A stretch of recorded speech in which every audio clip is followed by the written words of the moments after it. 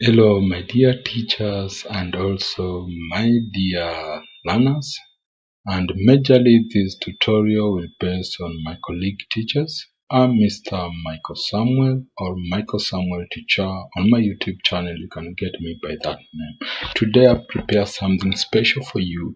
I know in most cases you want to prepare or set up an exam, and that is in mathematics, and maybe you have come upon some question that involve fraction that makes fraction proper frac improper fraction and proper fraction and also involving curly brackets square brackets and also rounded brackets.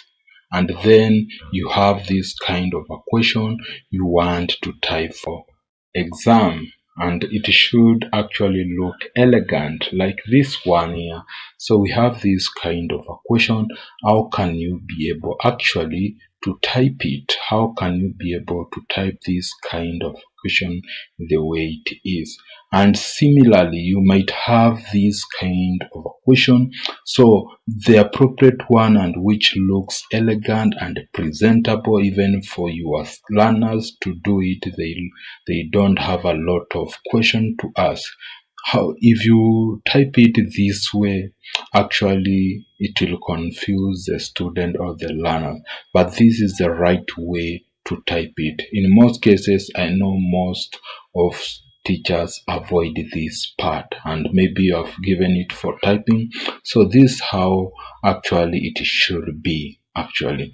So i will show you on how to go about it on how to type either in on Word document or also in PowerPoint. They are similar. The way to do it is just similar. So I will start from the beginning and show you on how to do all of this. So let us start with the first one.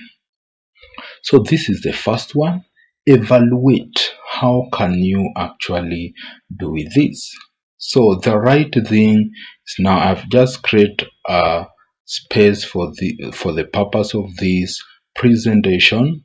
So from here to begin with insert to insert then from there go to the top right corner where we have equation click on equation then you can see there's a text box uh, actually has pop up type equation here the other way is actually to use a shortcut key that is Alt equal, Alt equal to just automatically introduce this uh, text box.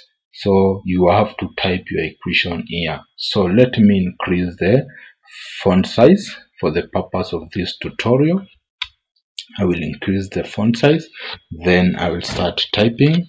So we have 1 over 2 then space then enter the uh, opening curly bracket then 3 over 5 space then plus then 1 over 4 space open the rounded bracket then 7 over 3 space minus 3 over 7 space close the rounded bracket and space.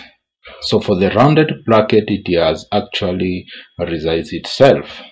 Then space of then 1 space 1 over 2 space then divide click on the top there and then 5 then close the curly bracket and space. That's how automatically you do it. That's wow. Next, we can try also. We have the other one. How can you also type this? So for these keys, we still use the same, same thing. So I'm going to use the shortcut key that is Alt equal to enter the equation mode then allow me to increase the font size. Then from there I will also actually do the same thing. So here we have to type. Now we have the the numerator and the denominator. So for the numerator I will enclose it with the brackets. So open the bracket 1 over 2 space then plus then 1 over 3 space then close the bracket over space. So it decreases the denominator part of it then 1 over 7 space of open the bracket 2 over 3 space then minus 1 over 6 close the bracket and space. So that's how it looks nice that's how it is. So about font size it's a matter you can be able to adjust to the required font size. So next one we have evaluate also this kind of question so let us see what we have. The same thing we are going to do here. We enter alt equal to enter the equation mode then increase the font size so from here begin by how can we write this? So from the beginning I'll start with that bracket then minus 12 then divide by divide by 3 times 4 minus open the bracket. Minus 15 close the bracket.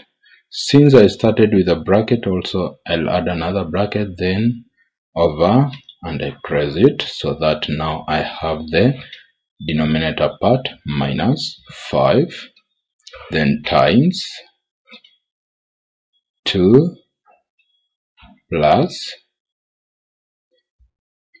open the bracket 5 close the bracket. And that is it. That's how we go about it. The other one actually which is also very important and this one also I'll do the same thing. Let me enter the equation mode. Alt equals so this what I have now also. Then we have the denominator part so I must when typing I must include opening and closing bracket for the numerator part.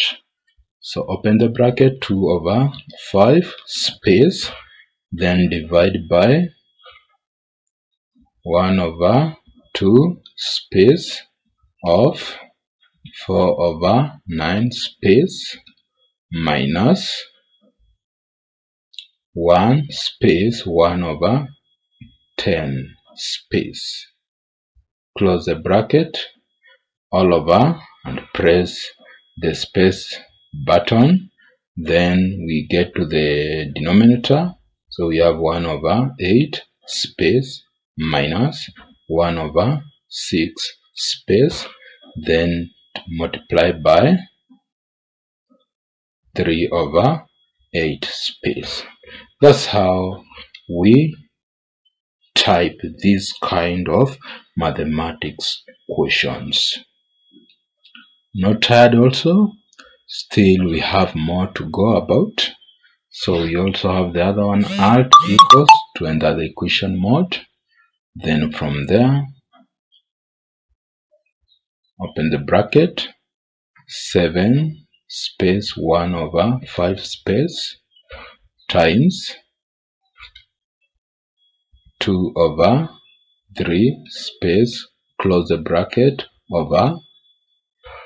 So you have the denominator part which is 9 space 3 over 5 space.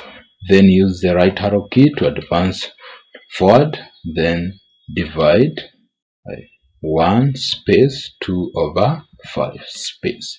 That's how we go about this kind of questions. So i still have more and which actually now which is also very important. So we'll enter also the equation mode. So from here alt equals that's the shortcut key. So have also this part which is numerator and denominator so in that case I'll start with opening bracket then 81 then raise to to x space then times 27 raised to x space. Close the bracket over and press the spacebar button. Over 9 raised to x space. Then equals to 729 that's how you type this kind of equation. You can see it is very easier to do so. Then the other one lastly which i'm going to do is this one. Also enter the equation mode alt equals let me increase the font size. Then i have 3 7 3 space 7 over 8 then from this particular point something which is very important the square root sign.